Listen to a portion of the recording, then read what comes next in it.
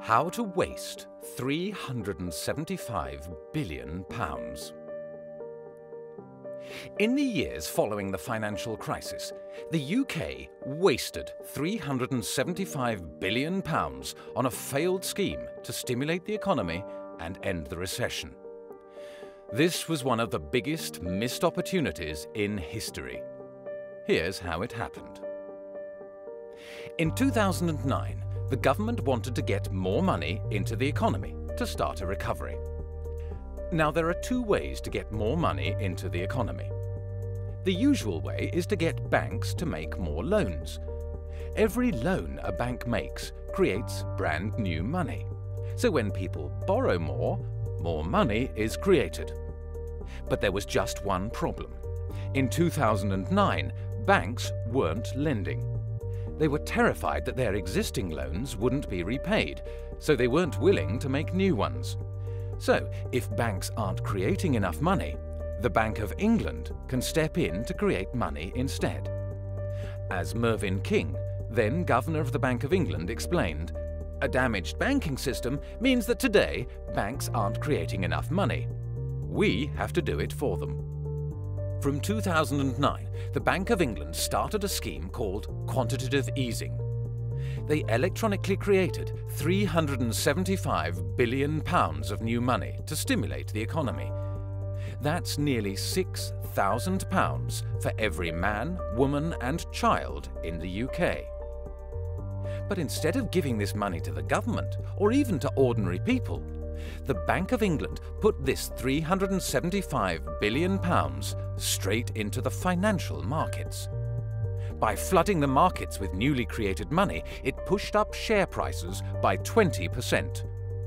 The big idea was that people who owned shares would feel wealthier and would then go out into the economy and spend more. The money would trickle down, and eventually everyone would end up better off. But most people don't own many shares. In fact, 40% of the stock market is owned by just the wealthiest 5% of the population. These people became richer by £128,000 per household. But they didn't go out and spend more.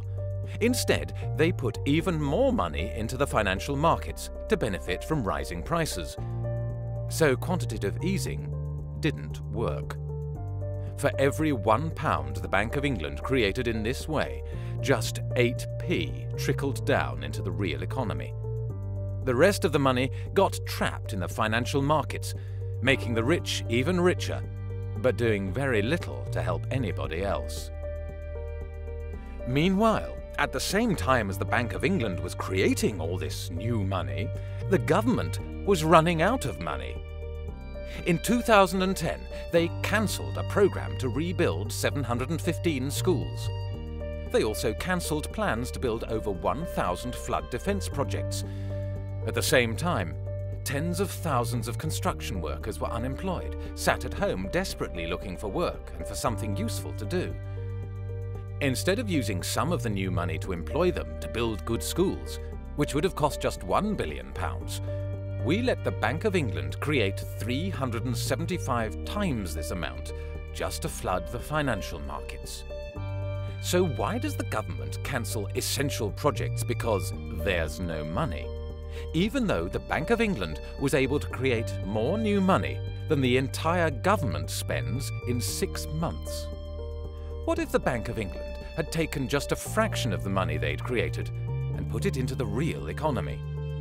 This is an idea that we call sovereign money.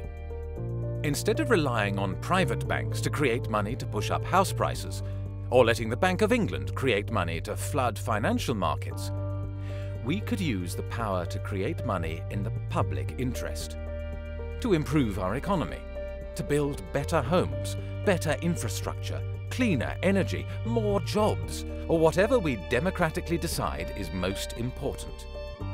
If the Bank of England had taken just £10 billion, less than 3% of what they actually created, and given it to the government to spend into the economy, the recession would have been over much sooner, and hundreds of thousands of people could have been saved from years of unemployment.